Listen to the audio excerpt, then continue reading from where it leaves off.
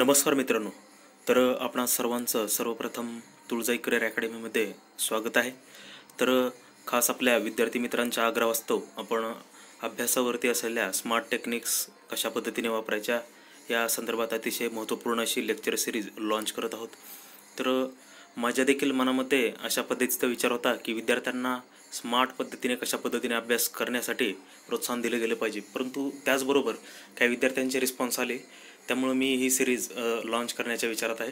तर व्हिडिओ सुरू करण्यापूर्वी माझी एक कळकळीची विनंती आहे की पॉज न करता आपण ही पूर्ण सिरीज पाहायची आहे.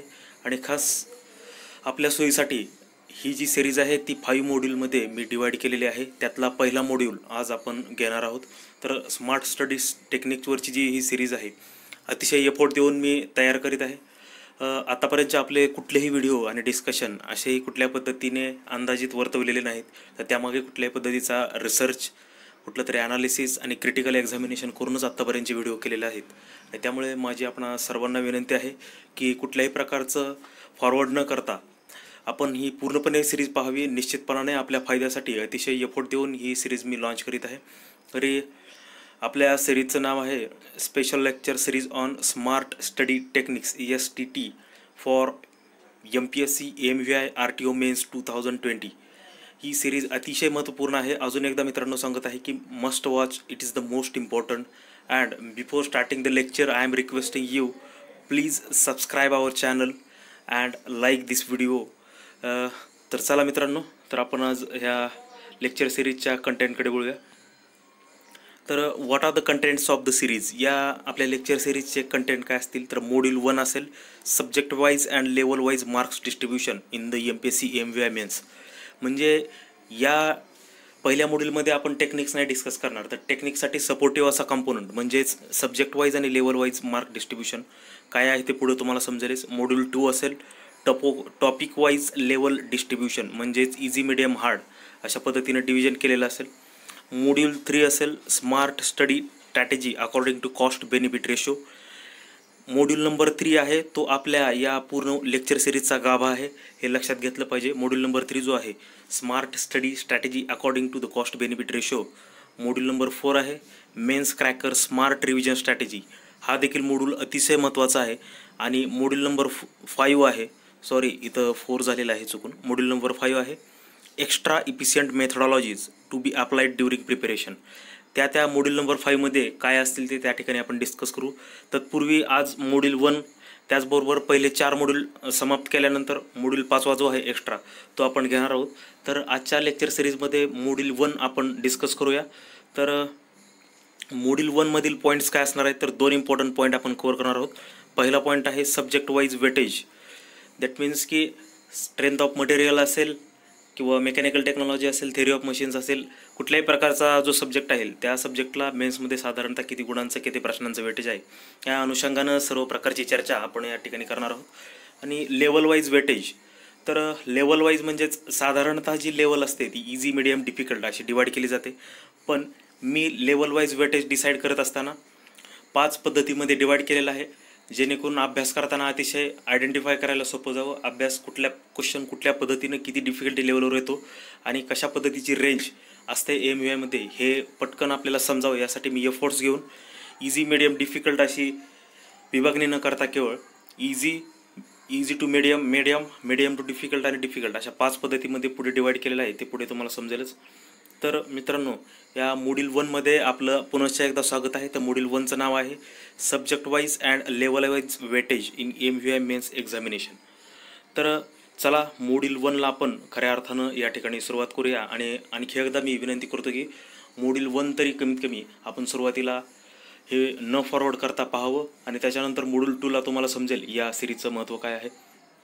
तर मित्रांनो सब्जेक्ट वाईज मार्क्स वेटेज आपला पेपर तीन सेक्शनमध्ये डिवाईड केलेला आहे हे आपणा सर्वांना माहीत आहे. ते रिपीट करण्याची काही आवश्यकता नाही. तर त्यामधील कंपल्सरी असलेला सेक्शन ए हा साधारणतः किती मार्कांचा आहे? तर एकशे वीस प्रश्न असतात दोनशे चाळीस गुणांसाठी. तर सेक्शन एचं नाव आहे मेकॅनिकल अँड ॲटोमोबाईल इंजिनिअरिंग त्याच्यामध्ये सब्जेक्ट कुठले सब्जेक्ट आहेत आणि त्याच्यामध्ये किती मार्क्स किती क्वेश्चन आणि किती मार्क्स विचारले जातात त्याचं डिस्कशन त्या ठिकाणी करूया. तर सब्जेक्ट नंबर एक आहे स्ट्रेंथ ऑफ मटेरियल्स क्वेश्चन्स साधारणतः विचारले जातात. फिफ्टीन क्वेश्चन्स थर्टी मार्क्ससाठी त्याच्यानंतर आहे मेकॅनिकल टेक्नॉलॉजी त्याच्यामध्ये वीस क्वेश्चन्स चाळीस गुणांसाठी असतात. थेरी ऑफ मशीन आहे. त्याच्यामध्ये देखील वीस क्वेश्चन्स चाळीस गुणांसाठी. हायड्रॉलिक्स म्हणजेच फ्लुइड मेकॅनिक्स त्याचं दुसरं नाव. त्याच्यामध्ये देखील वीस क्वेश्चन्स चाळीस गुणांसाठी विचारले जातात. मित्रांनो मी क्वेश्चनचं आणि मार्कांचं वेटेज का सांगतोय?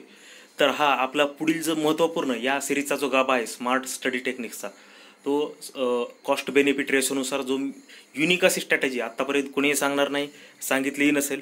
विशिष्ट अशा पद्धतीचा ॲनालिसिस क्रिटिकल एक्झामिनेशन अँड काय म्हणतो आपण त्याला की ॲनालिसिस क्वेश्चन मार्क डिस्ट्रीब्युशन आणि हिस्ट्री ॲनालिसिस या सगळ्या गोष्टी अभ्यास करून ती एक कॉस्ट बेनिफिट रेशोची एक टेक्निक खास एम यू आयसाठी मी या ठिकाणी डेव्हलप केलेली आहे. मी तुम्हाला ती पुढील लेक्चर सिरीजमध्ये सांगणार आहे.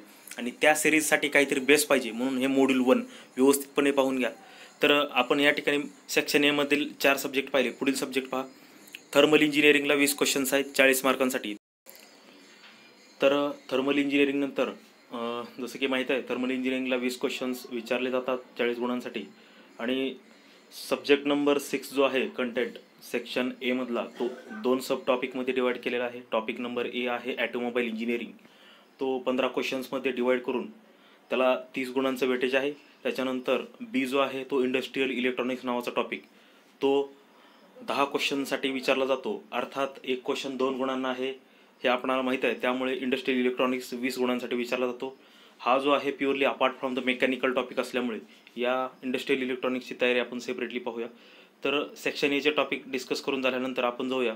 सेक्शन बीमधील वेटेज काय आहे? सेक्शन बीमध्ये तीन सब्जेक्ट्स आहेत. त्यातला पहिला सब्जेक्ट आहे हायड्रॉलिक मशिनरी फ्लुइड मेकॅनिक्स अर्थात हायड्रॉलिक्सचा हा सब टॉपिक आहे आणि सेक्शन बीमध्ये विचारलेला आहे. त्याच्यामध्ये दहा क्वेश्चन्स वीस गुणांसाठी आहेत. रेफ्रिजरेशन अँड एअर कंडिशनिंग दहा क्वेश्चन वीस गुणांसाठी. आणि इंडस्ट्रीयल इंजिनिअरिंग दहा क्वेश्चन वीस गुणांसाठी. अशा पद्धतीने सेक्शन बी आणि सेक्शन सी हा एकमेकांसाठी ऑर आहेत. सेक्शन एला सप्लिमेंटरी म्हणून तुम्हाला कुठला तरी एक सेक्शन निवडायचा आहे. पण बरेचसे eighty to ninety percent student मेकॅनिकलचे section B prefer करतात. आणि मी देखील स्ट्रॉंगली सजेस्ट करेन जे नवीन विद्यार्थी आहेत ज्यांनी अजून निवडलेला नाही त्यांनी सेक्शन बी निवडला तर जास्त बेटर राहील. पण तुमची जर तयारी सध्या चालू असेल सेक्शन सीची तर ती कुठल्याही पद्धतीने बंद न पडता सेक्शन सी कंटिन्यू राहू द्या. आणि ज्यांची सेक्शन बीची चालू आहे त्यांनी सेक्शन बी करा. तर सेक्शन सीमध्ये काय सब्जेक्ट वाईज डिस्ट्रीब्युशन आहे? ॲटोमोबाईल सिस्टीम्स नावाचा जो सब्जेक्ट आहे तो दहा प्रश्नांसाठी विचारला जातो.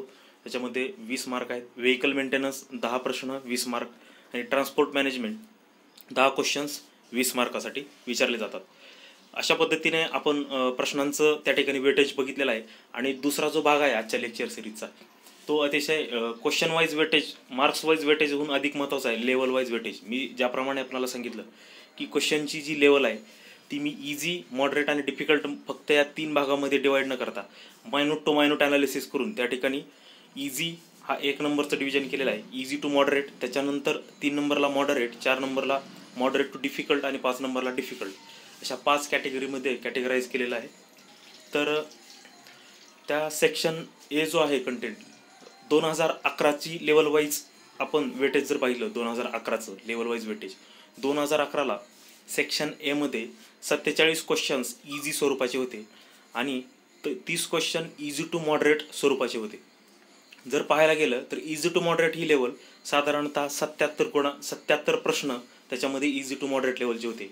म्हणजे पाहायला गेलं तर साधारणतः दीडशे ते एकशे साठ गुण हे इझी मार्कांवरती अतिशय इझी तिची लेवल खूपच इझी होती.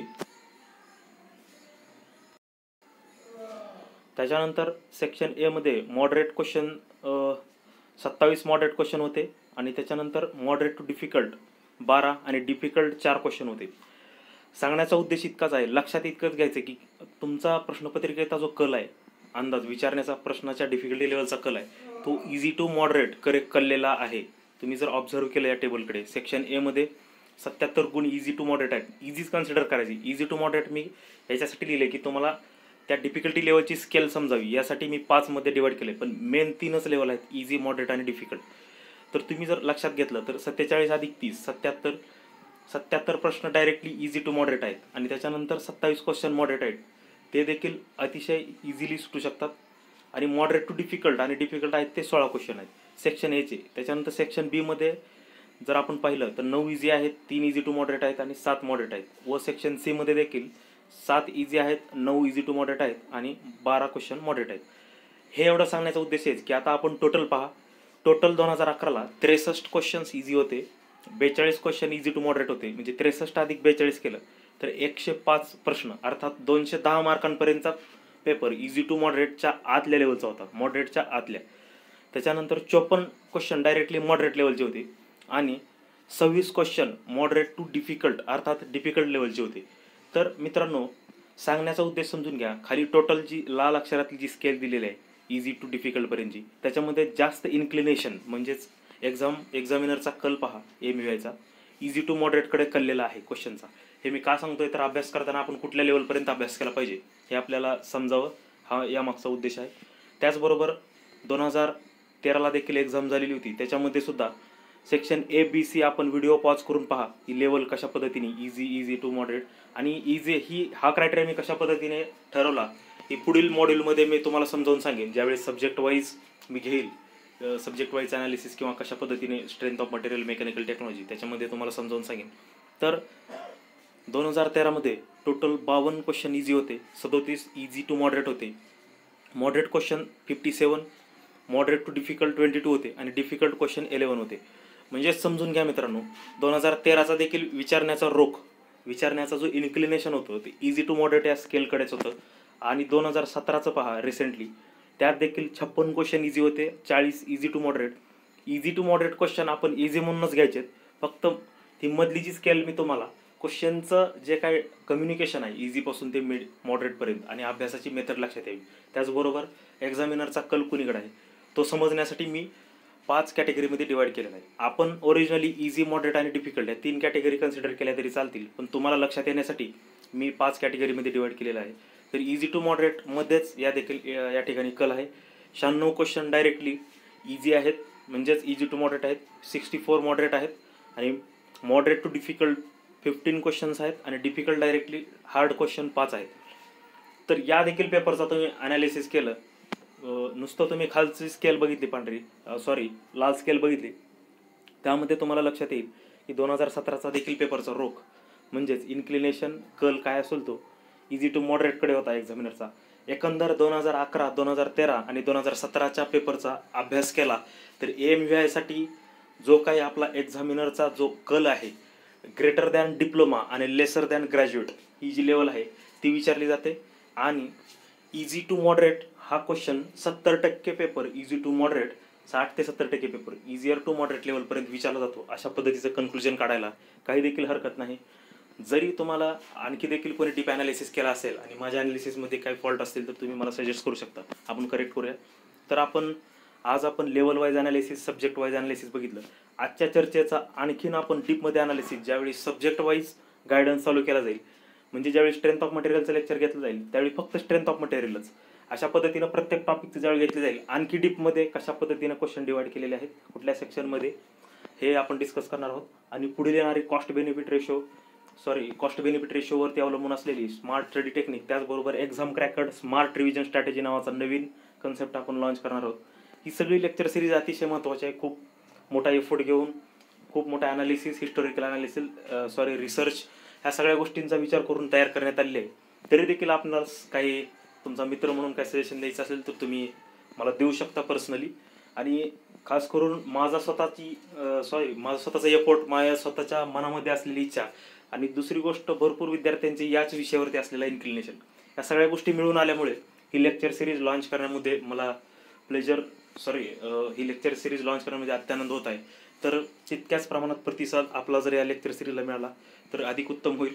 तर हे व्हिडिओ ऐकल्याबद्दल सिरीज ऐकल्याबद्दल मॉड्यूल वन पूर्णतः तुम्ही ऐकल्याबद्दल तुम्हाला सर्वप्रथम मी धन्यवाद देतो. आणि आपल्या व्हिडिओला लाईक करा. तुमच्या जे काही तुमचे मित्र असतील जवळचे एम व्ही ची तयारी करणारे किंवा इतर एक्झामची तयारी करणारे त्या सर्वांना आपलं चॅनल शेअर करा. सबस्क्राईब करायला सांगा. ॲटलिस्ट एका विद्यार्थ्याने तुम्ही दहा जणांना जरी सांगितलं तरी आपली चळवळ पुढे जाईल. आणि चॅनलला सबस्क्राईब करायला मात्र विसरू नका. तर मॉड्यूल टू आपण लवकरच उद्या किंवा परवा लॉन्च करू. अशी आशा करतो की आपल्याला हे लेक्चर आवडलं असेल. आणि पुनश्च एकदा धन्यवाद म्हणून आपण सर्वांची रजा घेतो.